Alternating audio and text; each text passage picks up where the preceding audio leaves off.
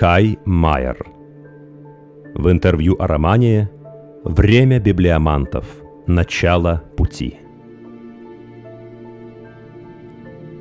В какой атмосфере и где вам комфортнее всего пишется?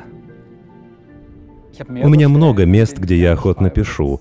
Иногда это моя библиотека, иногда кабинет, где я работаю гораздо реже, иногда в гостиной. Летом с удовольствием пишу на воздухе в саду. И с недавнего времени я обзавелся еще одним маленьким садовым домиком для сочинительства. Он очень хорошо подходит.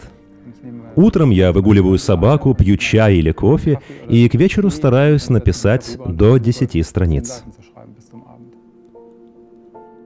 У вас тоже есть личная библиотека. Насколько она обширна, как выглядит и какие книги ваши самые любимые. У меня, к сожалению, не бесконечная библиотека, как в семействе Ферфакс в романе.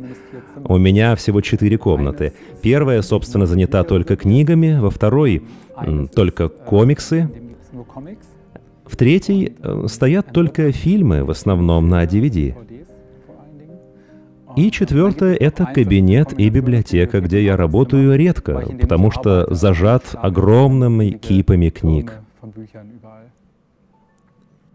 Как вы придумываете необычные имена для своих героев в романе «Время библиомантов»? Вообще-то я каждый день собираю имена — у меня большой список имен, которые я где-то когда-то записал, и когда я работаю над новой книгой, то решаю, какое имя лучше подходит тому или иному персонажу.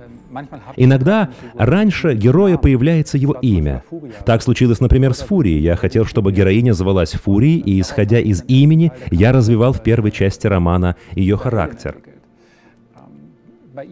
Фурия и Саламандра это были любимые персонажи в любимой книге ее матери. И мама настояла на том, чтобы дочь унаследовала эти имена.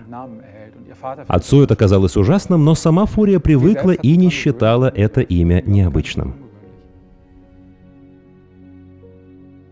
Новый роман Кая Майера повествует о магической власти книг. Власть. Магия. Откройте для себя время библиомантов.